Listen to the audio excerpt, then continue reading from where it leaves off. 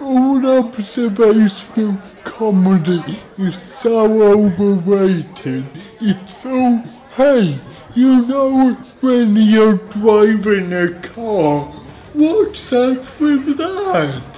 To be fair, Ted, if you were driving a car, there'd be a lot up with that. the wheels for a start.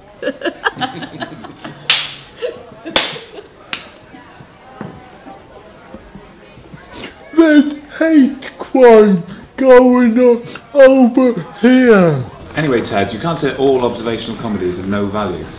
I can, and they just did. Well, you say that, but we didn't understand a word of it. Yeah, all we heard was. Uh, uh, uh, a-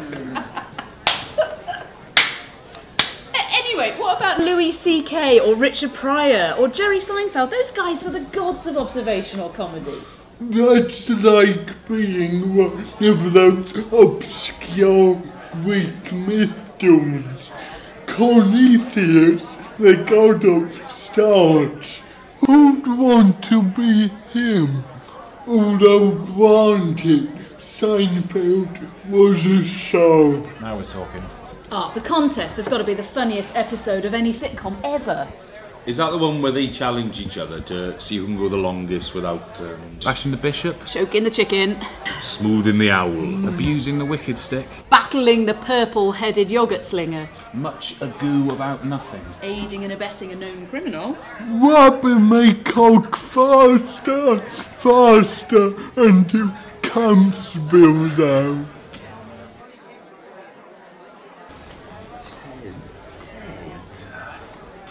Imagine if we did something like that. Ted wouldn't stand a chance. It'd be the only race you could beat us in. How tragically ironic. Fuck you guys. I could beat you in a no ranking contest any day. Any day? Yes. Today it is then. Uh, oh, Today. okay. Good. By the way, Johnny Five, it's your round. Okay.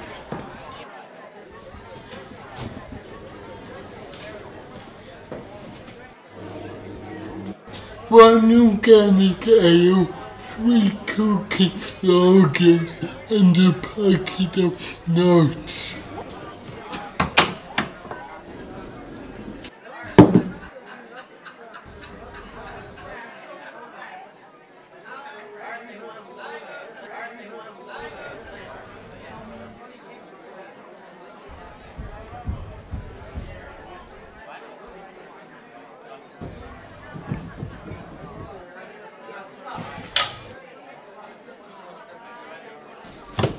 Just need to go down to the basement to change the barrel. Could you take it to the table? I just need to. Yeah, no problem.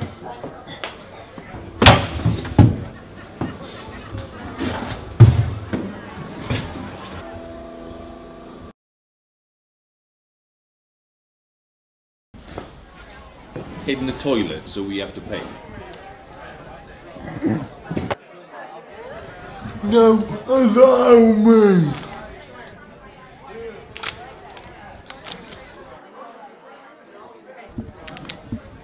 Oh, come on, Ted, we can do that. What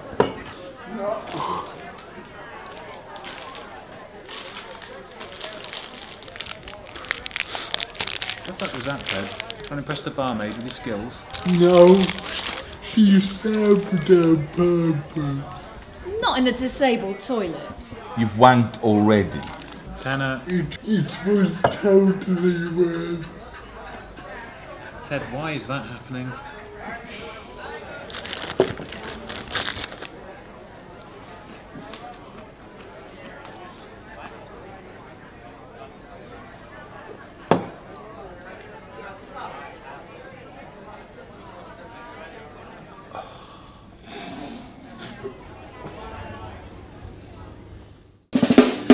Your